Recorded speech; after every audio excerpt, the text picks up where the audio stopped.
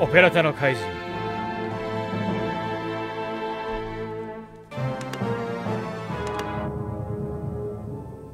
彼がそこまでこだわるとは思わなかったな。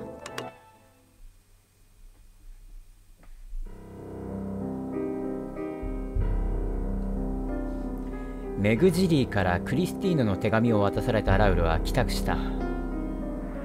クリスティーヌ。絶好を宣言したから僕の前に現れないのか。まずは手紙を読んでみよう。また来た。だんだん増えてきたな。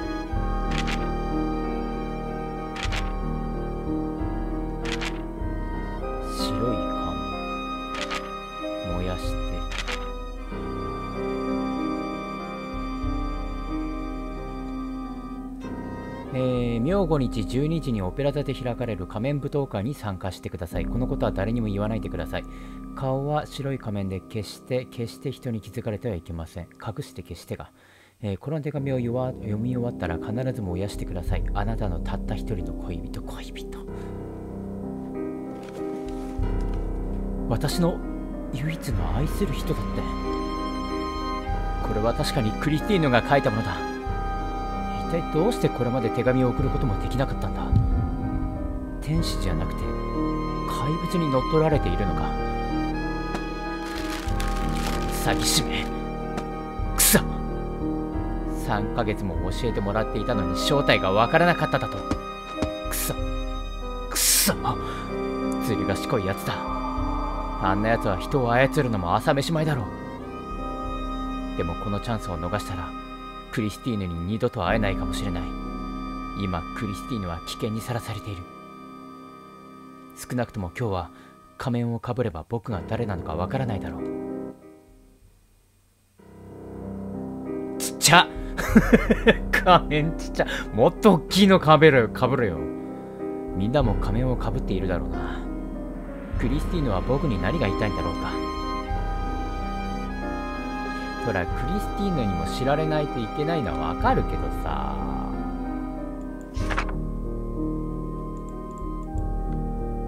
だからってお前それは。まあね。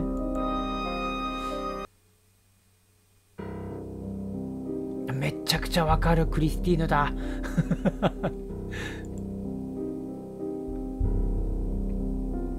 クリスティーヌに会うってかね、クリスティーヌでしょ。クリスティーヌどこですか？って、いや、クリスティーヌ。嘘だろ？なんでわからないんだよ。どう見てもクリスティーヌって書いてあるじゃないか、名前。話しかけらんないのか。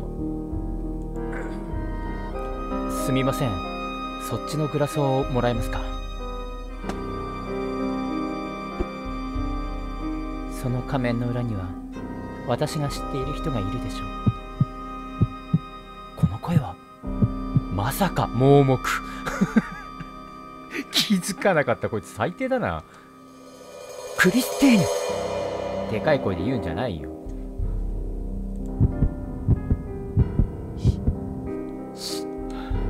またお会いできてよかった。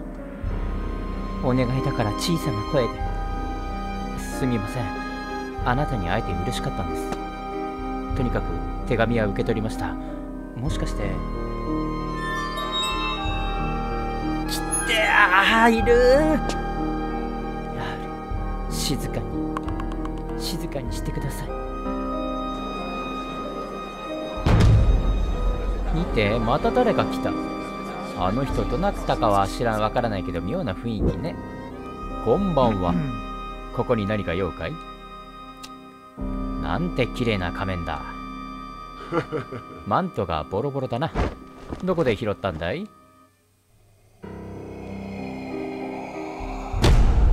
触るな。死体だ！消えろ。ここから消えろ。あの人。見覚えがあるよなそうだ。あの時舞台であいつが音楽の天使だな今日こそ蹴りをつけてやる。待ってラウル行かないで。なぜ僕を止めるんですか？さっきのあの人がいなくなった。どこに行ったんだ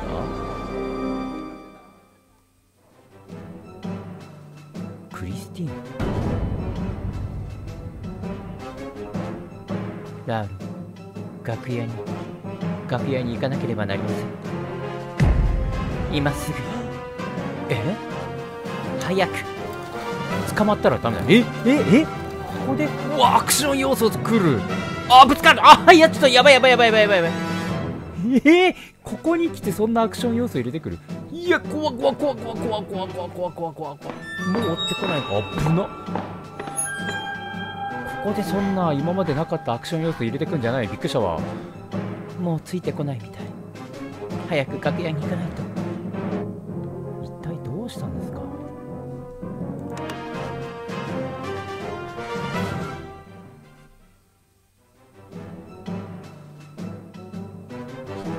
とりあえず楽屋にね。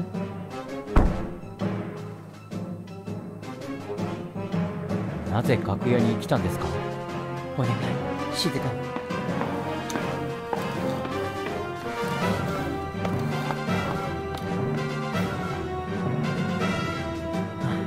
行ったわ行ったって誰がですか？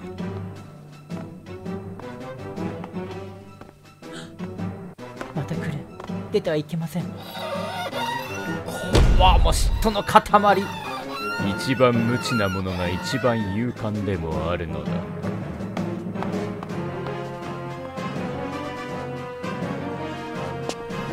あいつだ。あいつに間違いない。今回は絶対に逃がさない。ラウルお前が一番あのややこしくしてるんだよ。マジで。誰をですか？誰って？クリスティーヌあなたも知っていますよね？ぶっているあの男です。舞台でのあなたと僕を見ていた人。あなたの音楽の天使のことです。ラウル。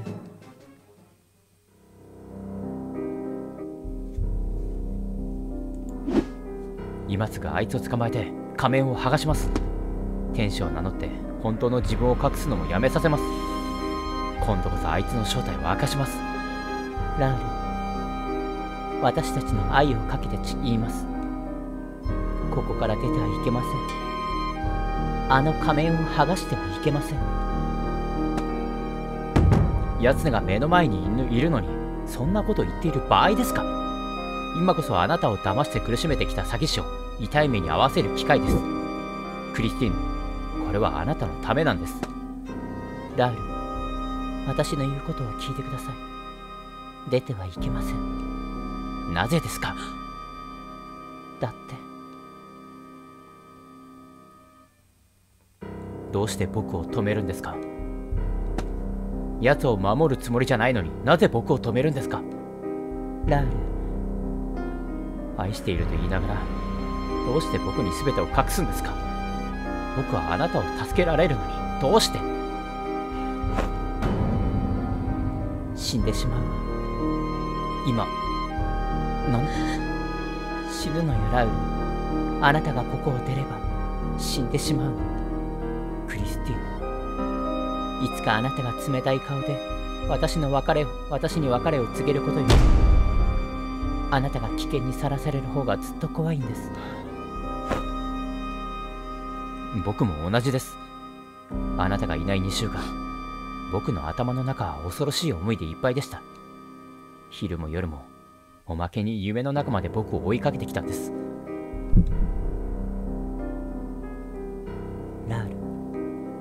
クリスティーヌ。別れより僕が危険にさらされるのが怖いと言いました。僕もこの2週間で気づいたんです。あなたと永遠に別れるのが一番怖いことだと。あなたはその間この世から僕の人生から突然消えてしまいました。クリスティーヌ一体何をそんなに恐れているんですか？お願いだから話してください。それはできません。私の話を聞いてあなたが何をするかは火を見るよりも明らかです。僕を愛していると言いながら何がそんなに不安なんですか？ラール本当にごめんなさい。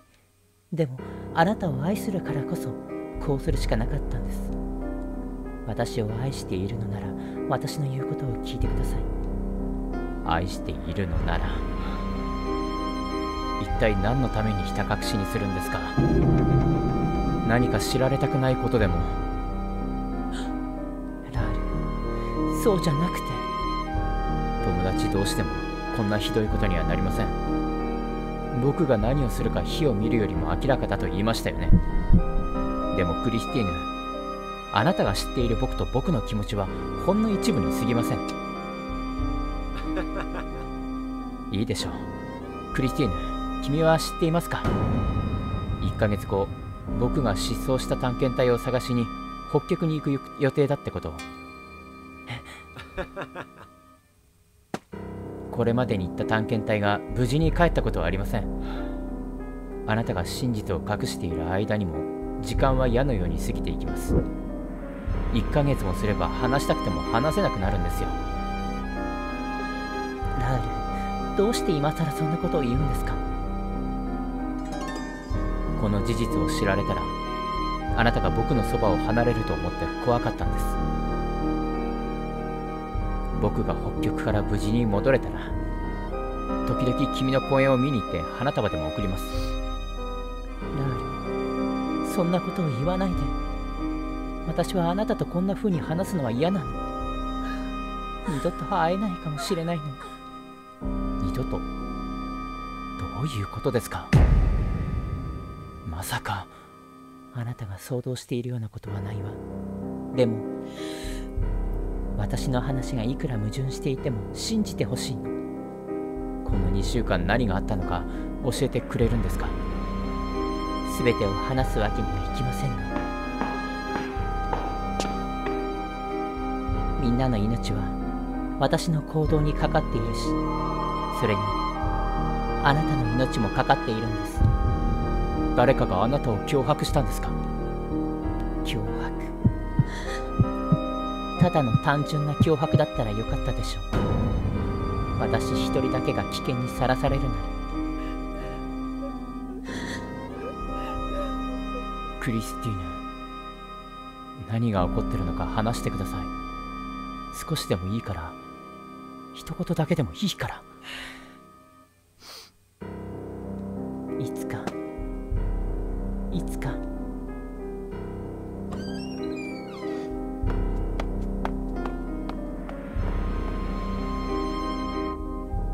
はーい。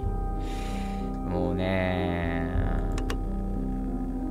もうラウルがね何しでかすかは大体火を見るよりも明らかってのがさだからこそ話せないってのもあるんだけどさ。